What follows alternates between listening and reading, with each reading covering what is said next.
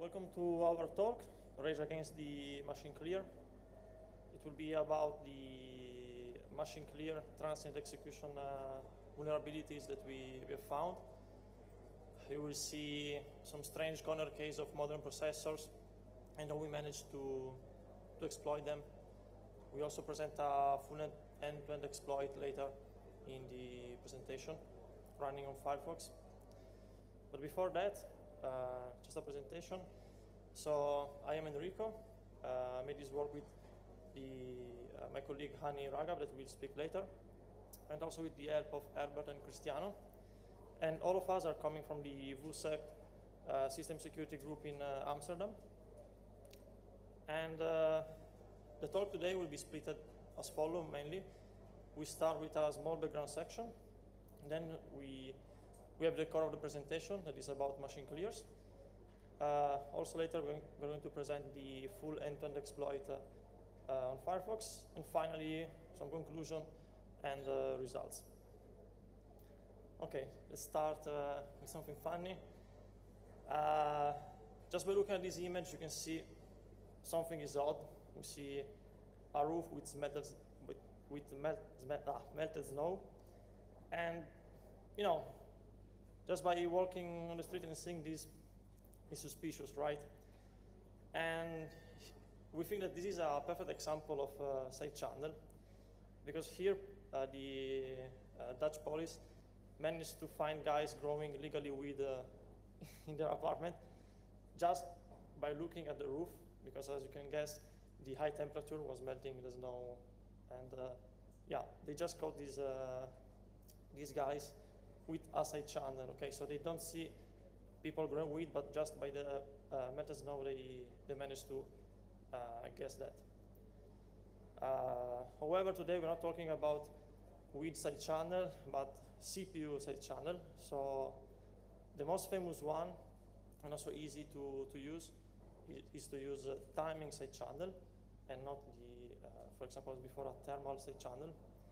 And it's kind of simple in the end. So here we have an example where we have an attacker and a victim, and they share a common resource. For example, the array that you can see on the bottom. The first step is to bring the, this shared resource, also in the data cache, in a known state, for example, by flashing the entire cache.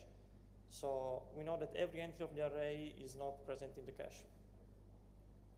Later, the victim, for example, uh, will access uh, uh, some array entries depending on a secret bit.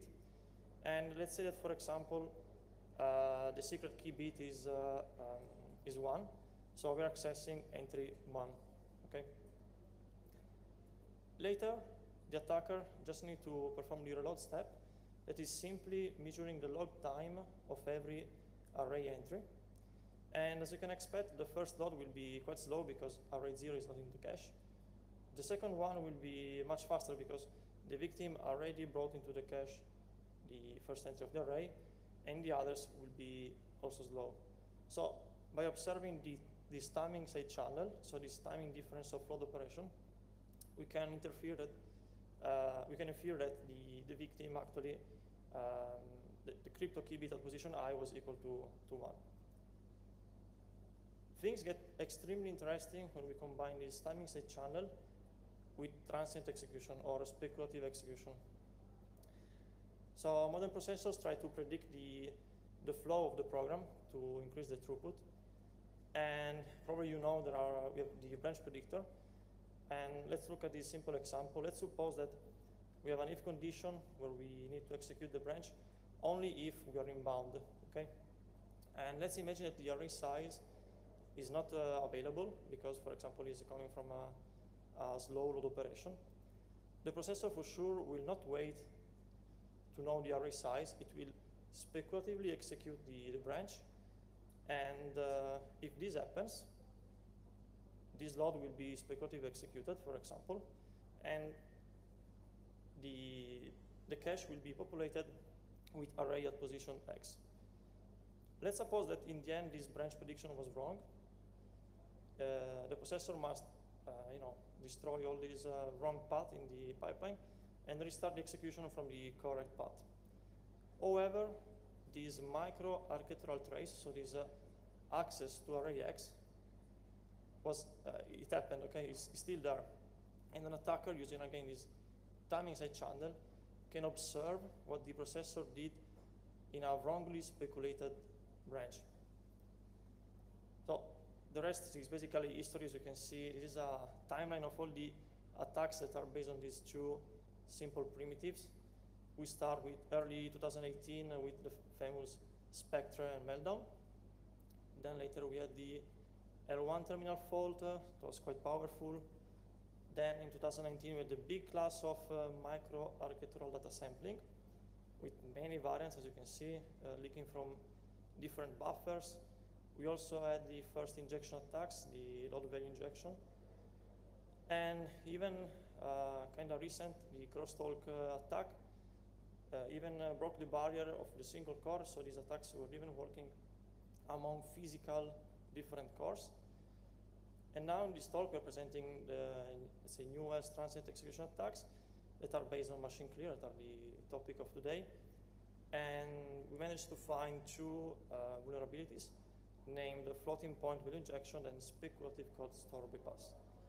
Now I'll leave the, the word to Hany.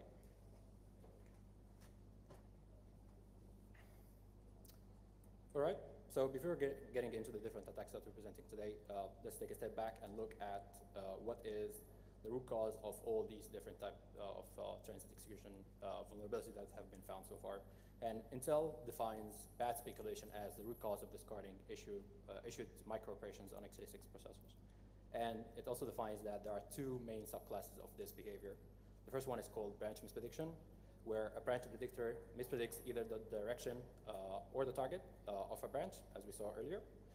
And uh, the second subclass of bad speculation is called machine clear, where uh, a machine clear condition flushes the entire pipeline and then the, the, CPU resumes the execution from the last retired instruction. So it's not just about a mispredicted branch, but it's the entire pipeline once the machine clear condition occurs. So as we said, branch misprediction have been widely uh, explored in uh, previous attacks like Spectre and along with different ways of creating faults and uh, different ways of aborting an Intel uh, TSX uh, transaction. Many attacks have been focused only on these on variants of these root causes, but the same cannot be said about the class of machine clear where uh, up until to this work it remains widely unexplored. And this is what we are going to, to explain in this presentation. So in this work, we're going to, uh, we performed the reverse engineering and the security analysis of uh, four main types, four different root causes that can create a transit execution path uh, on uh, modern CPUs. And the first one is called self-modifying code machine clear. Then we have floating point, memory ordering, and memory disambiguation machine clear. Two of these led us to obtain uh, two new transit execution-based attack primitives. The first one is called speculative code store bypass, which is based on a self-modified machine clear. And the second one is called floating point value injection, which is based on a floating point machine clear. Furthermore, floating point value injection led us to uh, obtain and mount an end-to-end -end attack on uh, Firefox, leaking arbitrary memory addresses with a leakage rate that can reach 13 kilobytes per second. And this is what we're uh, going to see uh, later in details. So in order to understand more the different types uh, uh, of machine clear that we're talking about today, we first try to understand what is the architectural invariant at the core of each type of machine clear. Then how this invariant can be violated and therefore triggering the machine clear or the pipeline flush. Then what, is the, what are the security implications of uh, uh, this invariant violation? And finally, how this violation can be exploited. And these are the four points that we're going to focus on when we are studying the different types of machine clear that we're presenting. So the first type that we're talking about today is called self-modifying code machine clear, and it's based on a self-modifying code. What is a self-modifying code? It's a program storing instructions as data, uh, modifying its own code as it's being executed. It has been widely used in uh, malwares trying to unpack themselves when it's uh, right moment. That's just one example, but here we are going to see a self-modifying code in a completely different uh, way. So let's take a look at this uh, snippet of code. We have two instructions. The first one is modifying the following one, changing it from uh, a load secret to a no operation. Modern front ends in modern x86 processors in order to maximize the execution throughput, they speculatively fetch the code and execute well ahead of retirement. So what happens once the front end of a modern CPUs encounters a self-modifying code? Since it already uh, speculatively uh, fetched, decoded, and executed the load secret, because this is what the program is saying, when uh, it encounters the store instruction, which is trying to, uh, to modify the already fetched code, it will have to flush its pipeline from the previously fetched, decoded, and executed instruction, in this case the load secret, and take into account the new instruction that is being stored, which is the no operation, and then refetch it, decode it, and execute it. But since this detection of a self-modified code is not immediate, this creates a temporary window where the microarchitectural side effects of the speculatively fetch, decode, and execute instruction, in this case the load, the load secret, can be still observed through caches and other buffers in the CPU, as we saw earlier. And if an attacker can have a side channel and be able to observe what has been executed um, uh, in the sale code, from the sale code, in this case the load secret, it then can, uh, it, it, then can leak uh, the information that was loaded. So the architecture invariant here is that store instructions always target data addresses. And this invariant is violated in the case of a self-modifying code which targets code addresses instead. This violation allows an attacker to transiently execute stale code, in this case, the load secret. And in order to understand how this can be exploited, we need first to understand um, what is the uh, attack primitive that this type of machine clear is providing us. So we can break this down to two main steps. We need to write code, and we need then to execute it. These are the two fundamental steps that we need to do in order to perform a self-modifying code.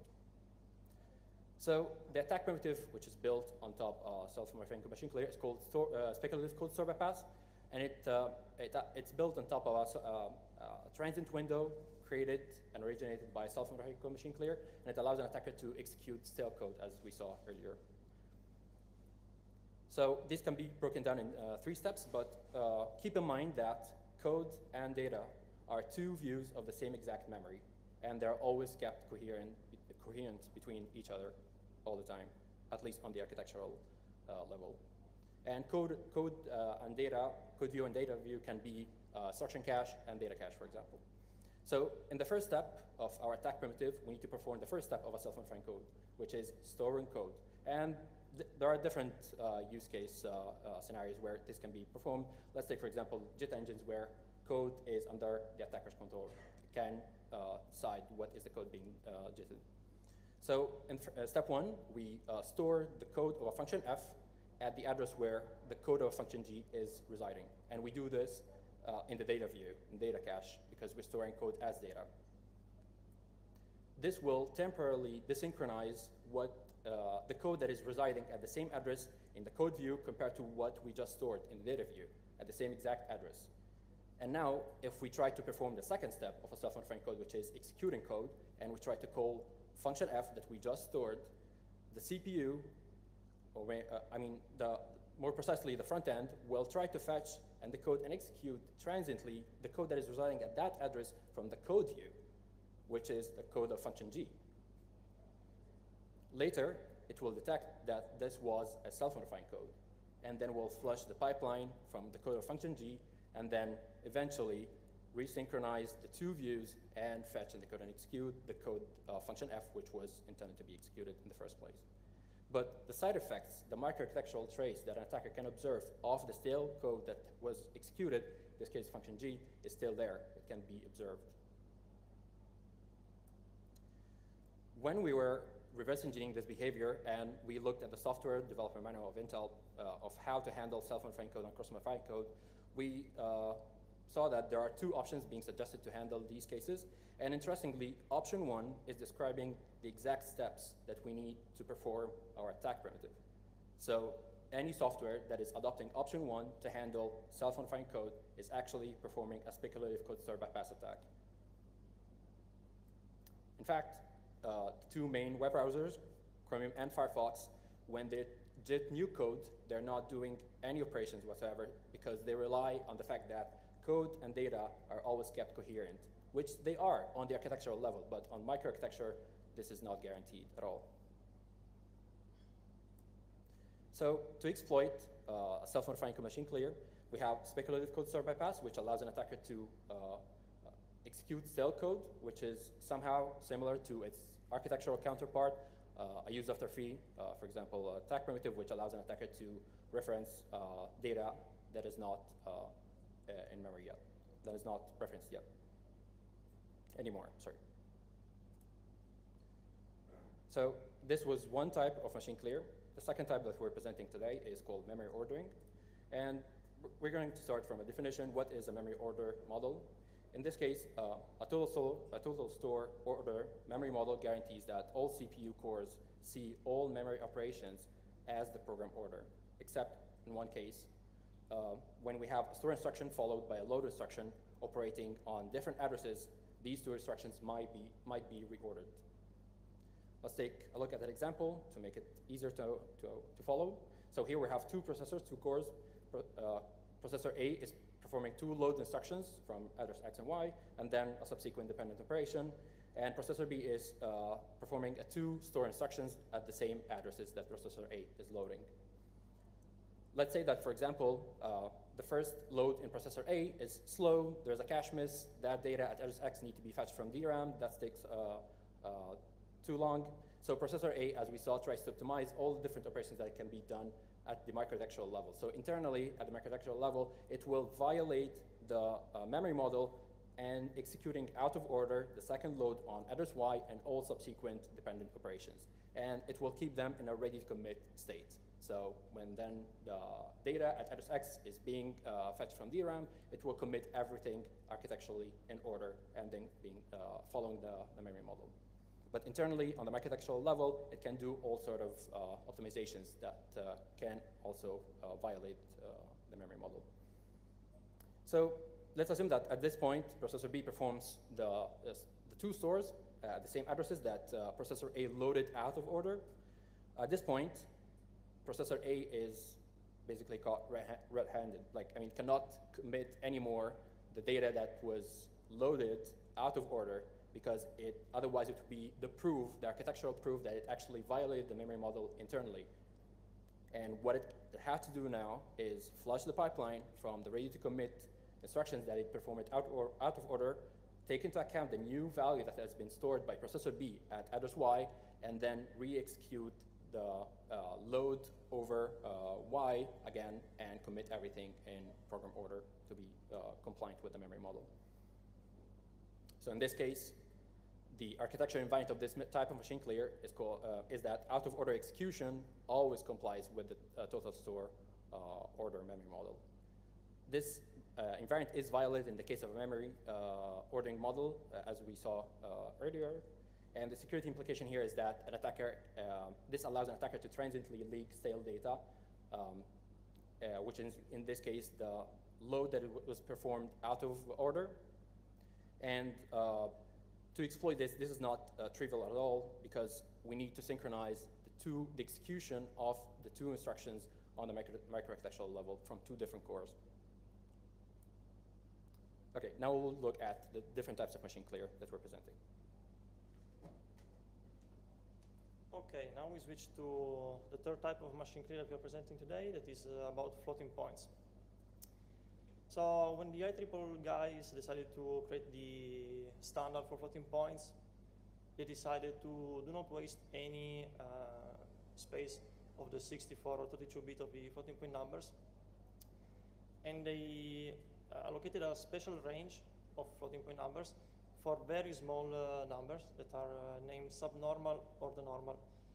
So to keep it short, every number for the double representation smaller than 2 to the power of negative 1022, it will be represented differently from the other, uh, let's say, standard uh, floating point numbers. Uh, to better explain, let's have a look at this uh, small snippet of code.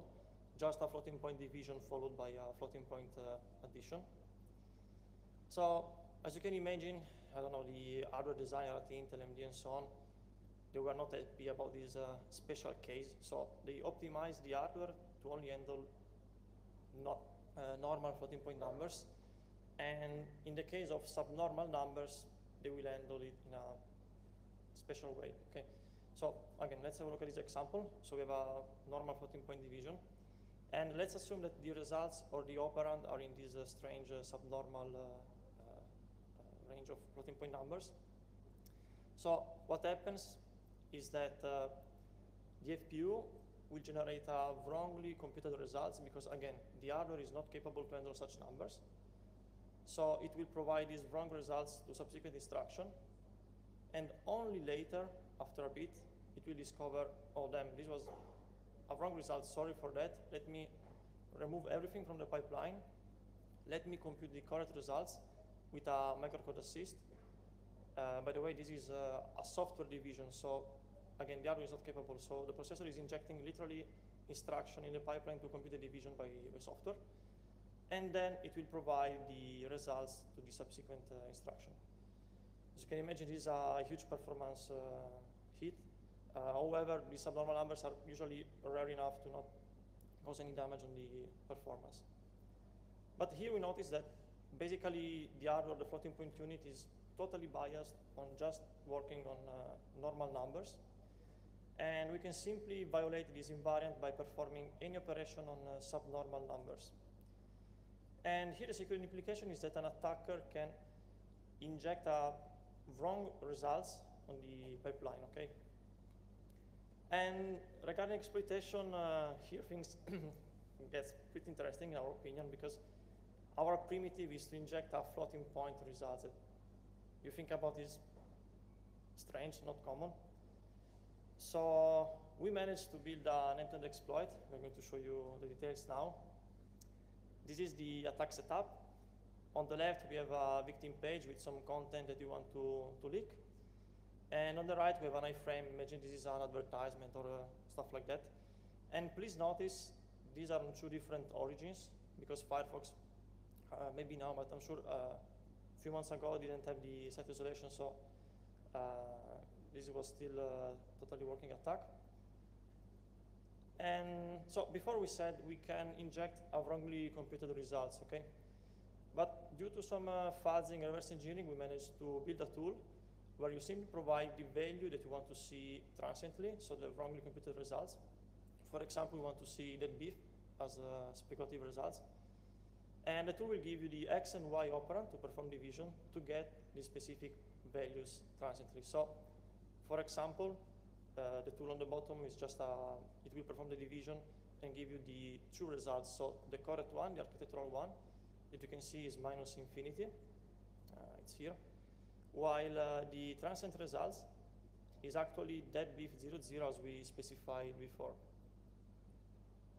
Maybe now you start to see where the exploit is going to, to, to attack. So you see the upper bits are set to FFFB.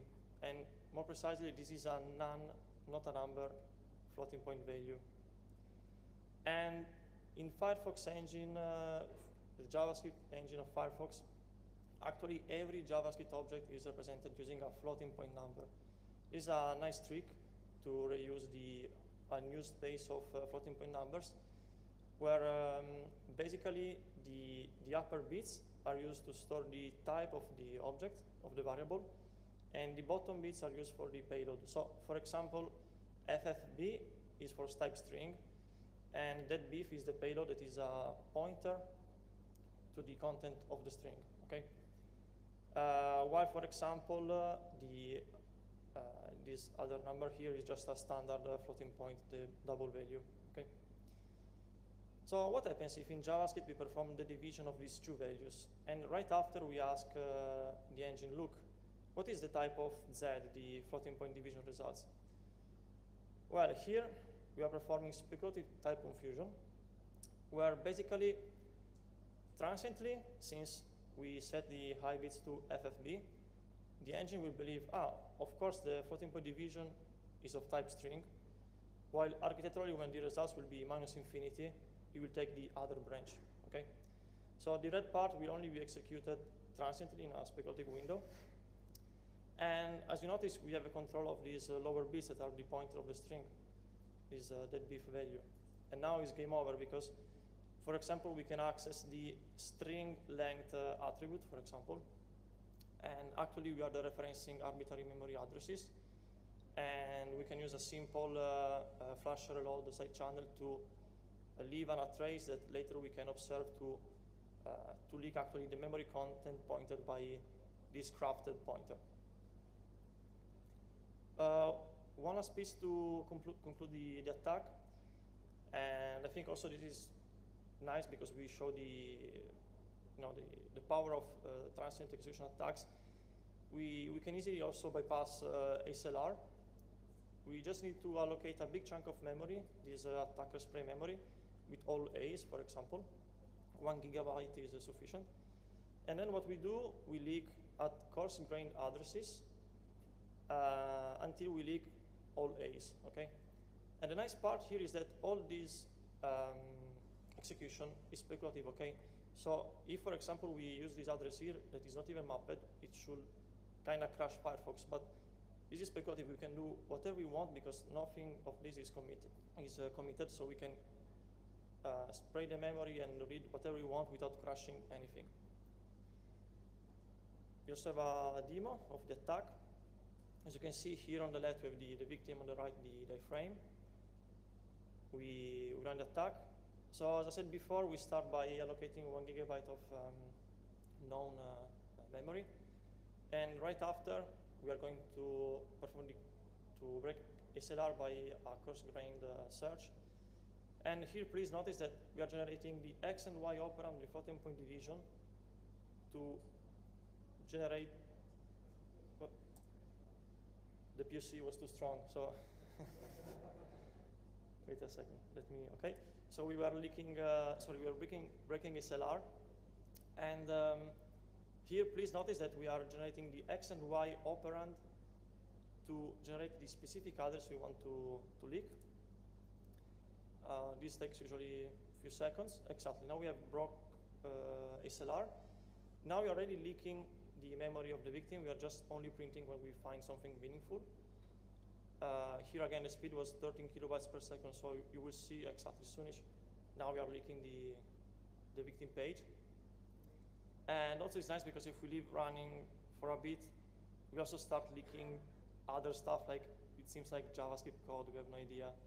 So we have full uh, compromise the, the process. And uh, again, if you think about, at least for us, this is pretty crazy attack because from a floating point division to uh, read arbitrary uh, memory, uh, all in a JIT engine, again, using uh, speculative attacks was, yeah, it's pretty good. Uh, yeah, as I said, the leakage rate was about 13 kilobytes per second. Uh, yeah, just briefly about mitigation. There are multiples. You can simply disable the, this representation in the floating point unit. We also implemented a compiler pass to serialize uh, possible FPVI gadgets uh, with a 53% overhead. Or uh, as Firefox did, uh, basically now after every floating point operation, they conditionally check that the floating point result is not of type NaN, so you cannot anymore, uh, let's say, type confuse the JavaScript engine, while Chrome was safe by default because uh, was already using uh, site isolation.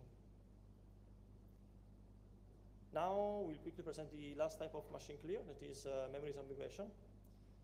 So when we have a load instruction followed by a store instruction, and the destination of the store is not ready yet, there is a special predictor named uh, memory disambiguation unit that tries to predict if this sto uh, store load instruction are operating on the same address, so aliasing or not aliasing.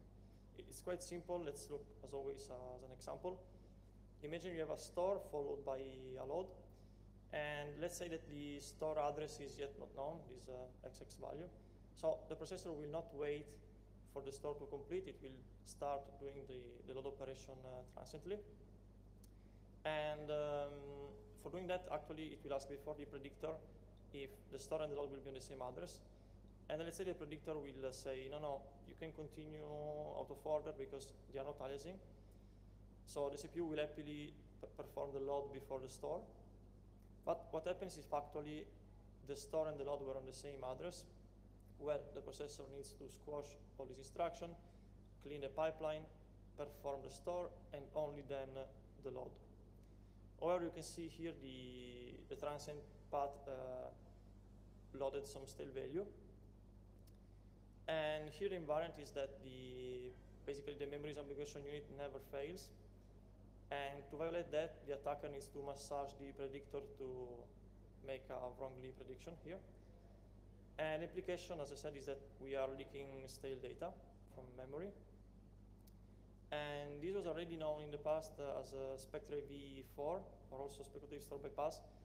Uh, however, Intel defines this as a machine clear type, so we also presented it today. Now, ah, yes, um, if you really like this, uh, this presentation, you can also have a look at our paper.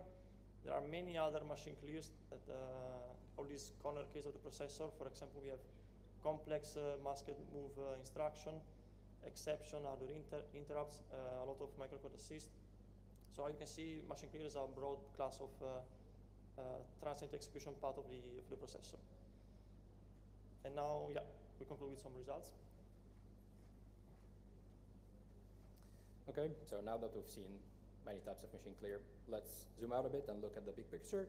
So we saw self-modifying code, uh, machine clear, allowing stale code execution, uh, a memory ordering, allowing uh, data to be uh, leaked, uh, floating point, uh, performing an injection of a wrong result on the transient path, and then lastly, stale memory leak through the misprediction of uh, the aliasing of two addresses through the memory disambiguation unit. So let's look at some numbers to evaluate how these new types of machine clear perform compared to all the previous known uh, causes of uh, execution. Here on the x-axis we have the different uh, mechanisms or way to create a transient execution path and on the y-axis we have two metrics to evaluate these, uh, this behavior. The top plot represents the number of uh, transient loads uh, load operations that fit in a single transient window. And the bottom uh, plot represents the leakage rate. How, how much can we leak with uh, the corresponding transient execution me mechanism? And the blue bars, Intel, the red bars are AMD. So here we have the flush and reload. This is the attack that we uh, saw at the beginning of this presentation, representing the architectural upper limit of a leakage rate. Nothing can, nothing transiently can leak more than this because these are committed and retired instructions that are leaking memory, uh, but all the others are transient, so they can, uh, uh, the transient window can finish uh, earlier, so they cannot leak more than the architectural leakage. Then we have uh, Intel TSX, BHT, and Fault, where, um, which are the three main causes that all previous transient execution attack were relying on to create a transient execution path and perform these memory leaks. And um, uh, Intel TSX, as we know, is only available on Intel uh, CPUs, and it's not supported anymore on recent CPUs because of these attacks. Um, so an attacker would have been left with uh, mispredicting a branch, like uh, in the case of BHT, or triggering a fault somehow, but it's still using the same root cause. But with our work, we're providing five new uh, ways to create a transient execution path, which are available both on Intel and AMD, and if we can look at the SMC, so self-modifying code machine clear, in a single window tri uh, triggered by self-modifying code, we can fit more than 160 transient loads that will never be observed on the architectural uh, level of the, uh, of the CPU. So 160 loads leaving a microarchitectural trace that can be only observed through some sort of side channel, as we saw earlier, which is quite powerful. Many things can fit in 160 loads. Um, another interesting number here is that with a floating point machine clear, we can reach a leakage rate that is more than 4 megabits per second. There is no predictor to mistrain. There is no, uh, it's not complicated. It's so deterministic. Once we have an X and Y, and we know what is the transient result that will be, uh, will be uh, created. We have an X and Y, we have a transient window that we can uh, use, as we saw in our exploit. So now that we have so many ways to create a transient uh, execution path, we try to classify these to have a more, uh, an, an, easier way to look at, at, these attacks. And we classified those, uh, those mechanisms for root, based on a root cause. So we have the, the big class of bad speculation that is, uh, has two main subclasses. One is control flow misprediction or branch misprediction, or, uh, and the other one is data misprediction or machine clear. And these two subclasses distinguish between are we speculating, speculating on code or are we speculating on data? Then each subclass has its own predictor subclass. Uh, the one under control flow prediction, these are the ones that have been used uh, in all different uh, transient execution attacks uh, that we saw up until uh, a year ago or so. And, and uh, under the predictors of data prediction, we have memory disambiguation that was previously classified as yet a Spectre variant, but it's actually a type of machine clear because it's predicting over data and not code. So while co uh, control flow prediction are failed attempts to predict what is the next instruction to execute, data mispredictions or machine clear are failed attempts to predict the value of uh, uh, some sort of data. Then we have the subclass uh, uh, of architectural exceptions that belongs to data misprediction, where we have all the different types of page fault that have been used uh, in previous attacks. Then we introduced this new subclass of data misprediction, where we, which we called a likely invariance violation, where we have all the different architectural invariants that usually hold but occasionally fail for some, for some reason. For example, in the case of floating point unit, floating point machine clear, as long as we're providing two normal numbers, everything is fine the invariant is not broken, not violated, not, not violated, we don't have a machine clear, but as, uh, as soon as we provide uh, a subnormal or denormal operand or the result of two normal numbers are yielding or giving a subnormal result, everything breaks, the invariant is violated, and we have a machine clear. Also, we observed that we have uh, the class of hardware interrupts that uh, during our reverse engineering, we, we saw that it, uh, they also create uh, a transient window that can be uh, exploited. You can read more about this in our paper.